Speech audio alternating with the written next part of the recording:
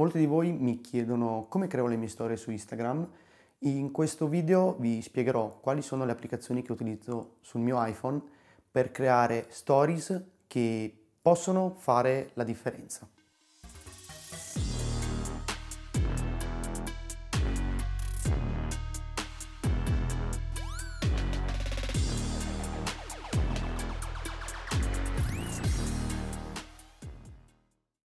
Ciao ragazzi, bentornati qui sul canale. Oggi vi porto un video che sarà il primo di una piccola serie, questa sarà la versione un pochino più basic, in cui vi spiego come creo le mie storie su Instagram, quali sono le applicazioni che utilizzo per creare stories, per creare slideshow di stories e approcciarmi al visual storytelling. E sarà un video molto semplice questo perché mi concentrerò solo ed esclusivamente su applicazioni su, sullo smartphone, per cui saranno tips che potete utilizzare tutti quanti perché sono tutte applicazioni gratuite, eh, disponibili sia per iOS che per Android,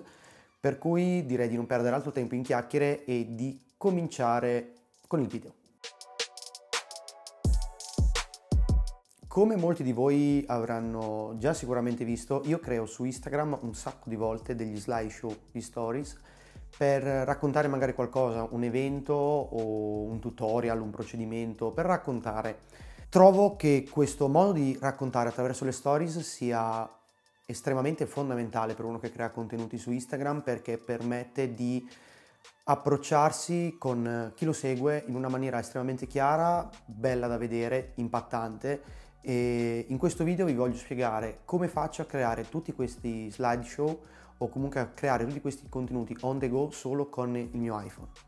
In un prossimo video invece magari un pochino più, più approfondito vi spiegherò come faccio a creare questi contenuti invece utilizzando Photoshop, utilizzando il computer e magari vi farò anche un tutorial su come creare i vostri template personalizzati. Innanzitutto parto col dire che io le mie foto le scatto interamente con l'iPhone, tutte quelle che vedete nelle stories e sono tutte quante editate con VSCO, io in particolare ho VSCO X perché mi permette di avere un ventaglio di preset già forniti dal programma estremamente ampio ed estremamente valido che mi piacciono parecchio, inoltre mi permette di editare con tutti i pannelli a disposizione e non avere alcuna limitazione. Per un lungo periodo di tempo ho utilizzato VSCO normale, quindi quello gratuito che potete scaricare tutti quanti, non penso non abbia bisogno di grandi presentazioni perché è un'app estremamente famosa, forse la più famosa per, per, gli smartphone, vi permette di modificare le foto e nella versione a pagamento anche i video. Come ho già detto, edito tutto quanto con questa applicazione perché è molto veloce, è molto semplice da utilizzare, molto immediata. Inizialmente utilizzavo Lightroom Mobile, però mh, la trovavo un pochino più macchinosa, un pochino più lenta e siccome quando sono in giro no, non voglio mai soffermarmi troppo tempo a fare stories, o meglio a editare stories, volevo qualcosa di un pochino più veloce, di un pochino più efficiente e soprattutto alla portata di ogni situazione. Partendo da questa premessa, che secondo me è la parte un pochino più superflua, perché alla fine ognuno edita le proprie foto come vuole, conosco tante persone che fanno esattamente la stessa cosa, però passando sempre per il computer, che ovviamente rende la cosa un pochino più complicata, un pochino più macchinosa. Come creo i miei slideshow di stories direttamente dal telefono? Io utilizzo un'applicazione, Unfold, che a mio parere è veramente sensazionale. Io lo utilizzo forse veramente dal day one della sua uscita. Mi sono trovato estremamente comoda perché è un'applicazione che fornisce tutta una serie di template suddivisi in diverse tipologie, quindi qualora uno volesse fare una serie di stories con una coerenza a livello di template, a livello di grafiche, può farlo e come state vedendo vi fornisce tante tipologie di pacchetti, io li ho acquistati tutti quelli acquistabili, c'è anche una versione ad abbonamento che è uscita recentemente che io non ho acquistato perché mi basta tut avere tutti quei pacchetti che ho acquistato singolarmente nel corso dell'ultimo anno penso.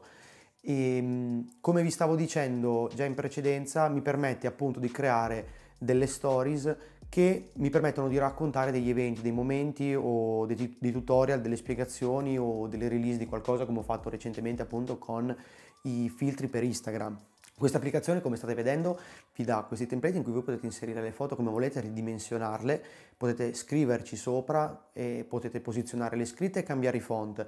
E recentemente sono state aggiunte altre funzioni come il cambio colore delle scritte e gli sticker, sono tutte funzioni che non utilizzo perché mi sembrano già eccessivi e a me personalmente piacciono le cose abbastanza minimal, molto semplici, senza troppi fronzoli, per cui io utilizzo la versione più basic dell'applicazione, quella fondamentalmente gratuita se voi non acquistate altri template, è una cosa assolutamente facoltativa e come vi farò vedere poi in un altro video potete ricrearli volendo anche sul vostro computer. Ma come mi approccio alla creazione di questi contenuti? Innanzitutto c'è sempre una slideshow di introduzione, quindi una cover che vi introduce a ciò che voglio mostrarvi. All'interno di queste stories cerco sempre di ragionare nell'avere un'alternanza tra stories in cui sono presenti immagini sia più particolari di dettagli, sia immagini più generiche che raccontino l'intera situazione e alternarla a questi tipi di collage a immagini singole, quindi magari le foto un pochino più evocative, un pochino più esplicative del momento della situazione, dove è presente magari qualche elemento fondamentale, qualche elemento di spicco in quello che voglio raccontare e voglio focalizzare l'attenzione solo ed esclusivamente su quell'elemento. Un esempio che posso mostrarvi è questo slideshow di stories che ho fatto in una giornata a Milano basata interamente sulle geometrie dei palazzi del Samsung District. Come potete vedere è presente una storia in cui ci sono i tre palazzi, quindi la parte diciamo più, più generica, e un dettaglio dei palazzi, quindi questo, questo spigolo mh, di queste balconate per mostrare appunto la geometria dei balconi. In seguito c'è una storia con l'intero pattern di un altro palazzo, perché secondo me questo pattern è particolarmente impattante da vedere singolarmente e ad averlo inserito in una storia come quella di prima secondo me avrebbe perso molto di impatto e come potete vedere io creo sempre un'alternanza tra contenuti in cui sono presenti diverse tipologie di storie, quindi al dettaglio e generiche, e contenuti in cui è presente un elemento singolo che, a cui voglio dare rilievo. Secondo me questa alternanza permette a chi guarda questo tipo, questa tipologia di contenuti di rimanere sempre attento perché non diventa ripetitiva e non sa mai cosa aspettarsi o comunque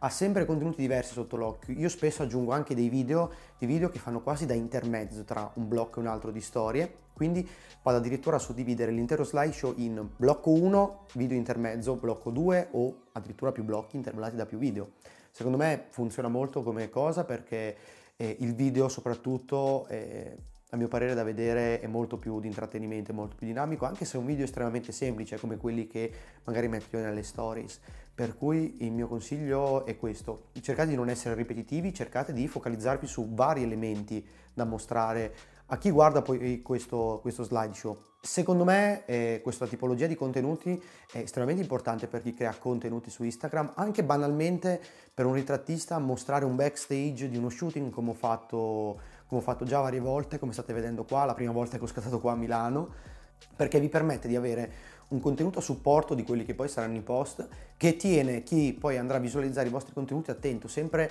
sul chi va là e non necessariamente vi obbligherà magari a creare contenuti un pochino più complicati come può essere ad esempio un video su YouTube. Io l'ho utilizzato per grandi periodi a supporto di quello che facevo e chi mi segue da più tempo lo sa e per cui vi straconsiglio questa applicazione perché poi è un'applicazione estremamente intuitiva e che potete utilizzare in qualsiasi circostanza. Io la utilizzo nei ritagli di tempo tra uno spostamento e l'altra e mi permette di essere sempre attivo. Diciamo che l'evoluzione di tutto questo processo che io faccio interamente con smartphone è portare tutti questi contenuti che producete sul vostro computer, editarli poi con Lightroom, Photoshop, con quello che, che più preferite e poi creare le vostre storie personalizzate con i vostri template personalizzati, io ne ho alcuni, come questi qua che state vedendo, inserire le vostre foto e poi pubblicarle. Ma per questa tipologia di contenuti volevo dedicare un video a parte per farvi vedere appunto come creare un vostro template e dargli una coerenza a livello di design, a livello visivo, in modo tale da poi poterla mantenere in qualsiasi altro slideshow voi vogliate creare. Per cui in questo video mi, mi, fermerò qui, mi fermerò nel parlarvi soltanto di queste due applicazioni che io utilizzo praticamente tutti i giorni e presto vi farò un video in cui vi spiegherò tutta questa parte un pochino più pro e in cui vi mostrerò come appunto creare questi template. Per cui grazie per essere arrivati fin qui con la visione del video, vi lascio tutti i link utili per scaricare questa applicazione in descrizione e se volete creare degli slideshow e taggarmi e farmeli vedere sono felicissimo di darvi un parere, sono felicissimo di vederli e sono anche molto curioso di vedere cosa eh, siete in grado di creare, eh, dato che ogni volta che vi invito a creare qualcosa e taggarmi e mostrarmelo mi avete sempre comunque colpito. Per cui grazie di nuovo per la visione del video, grazie per essere arrivati fino a questo punto, come al solito se volete parlare, discutere, chiacchierare sempre in maniera civile potete farlo su Instagram o qui sotto nei commenti,